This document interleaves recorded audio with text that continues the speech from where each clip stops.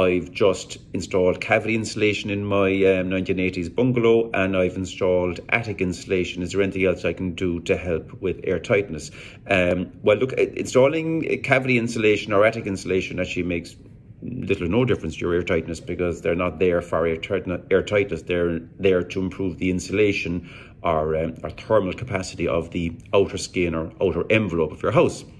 So to improve the air tightness, you would have to install an air tightness membrane in your first floor ceilings. You would have to go around and look at your walls. Is there any gaps in your walls? Is there any cracks? Um, have them all filled. Uh, to go take it to a totally other level, you could start installing air tightness um, membranes or a product called a parge coat on your external walls, but this is you're getting into very invasive nature here.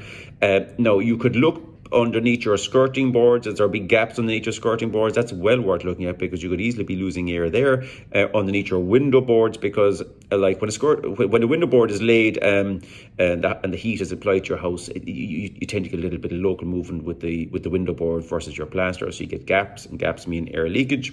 Uh, when you look at your skirting board, depending uh, on how that was laid day one, there could be very well be um, uh, gaps underneath your skirting board. So again, more air leakage around all your windows and doors, of course, a key place where you're losing air. Um, so if you're getting, uh, so you could you could install air tightness membranes around your windows and doors, particularly if you, if you think of installing new windows and doors because you've an opportunity there now that you've taken off the, the, the plaster surrounds on the on the insides. Um, you could do an air tightness test and see where you're leaking energy um, or leaking air. Um, it may be that you've too much vents in your house existing. Uh, you'd have to just get that. You'd have to get advice from that um, um, beyond getting your air tightness test done. Um, but that, that's another source. So there are loads of sources. Of course, one other key one is um, your plumbing, electrics. Um, where are your pipes coming through walls? Where are wires coming through walls? That's another key area where you can be uh, losing uh, losing warm air through air leakage. So that's another place you can look as well.